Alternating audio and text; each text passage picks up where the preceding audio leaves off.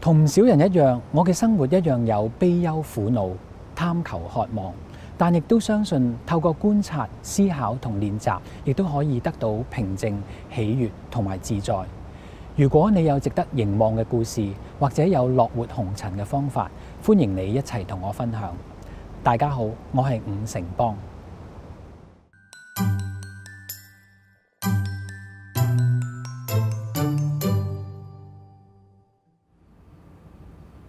今日我想同大家講下一個意念，叫做意和，就係意見上嘅和合。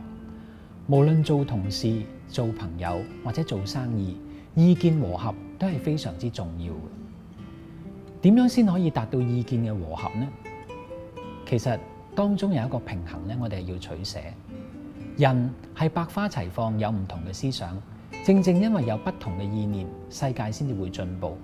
但係亦都因為有太多意念，所以我哋有好多紛爭。最近我重溫蘇軾嘅一首詩，佢係咁講嘅：橫看成嶺側成峰，遠近高低各不同。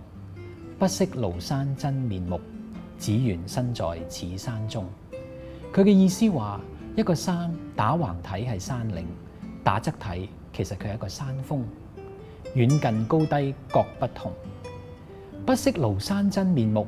以往我哋以為睇粵語長片嘅時候咧，就講話，嗯，你都唔知我嘅廬山真面目，以為係話啊，我咁犀利你都唔知。但係其實呢首詩話俾我哋聽話，不識廬山真面目，你係未睇清楚呢個山嘅真實面目。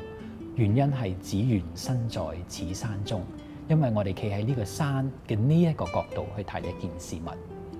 意和就係令到我哋係諗一諗，每一件事物佢至少有多過一個角度去演繹。如果我哋有咁嘅諗法嘅時候，意和係咪比較容易達到呢？